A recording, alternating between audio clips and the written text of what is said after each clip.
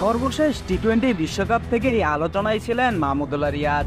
অভিজ্ঞ এই টাইগার ক্রিকেটারের ব্যাটিংটা ঠিক টি টোয়েন্টি সুলভ ছিল না। তাই বলে সমালোচনাও কম হয়নি। যে কারণে ভারতের বিপক্ষে চলমান সিরিজে তাকে দলে দেখেও অনেকেই অবাক হয়েছিল। এরই মধ্যে শোনা যাচ্ছিল, ভারতের সিরিজেই সংক্ষিপ্ত এই সংস্করণকে বিদায় বলবেন রিয়াদ। অবশেষে আজ দিল্লিতে ভারতের বিপক্ষে দ্বিতীয় টি টোয়েন্টি ম্যাচের আগের দিন এই ফরম্যাট থেকে অবসরের ঘোষণা দিয়েছেন তিনি।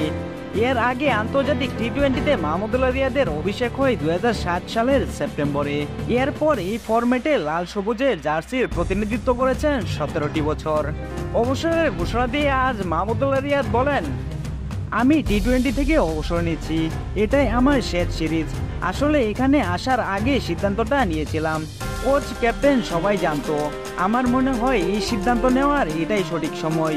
পরের বিশ্বকাপের জন্য এখনই প্রস্তুতি শুরু করা উচিত।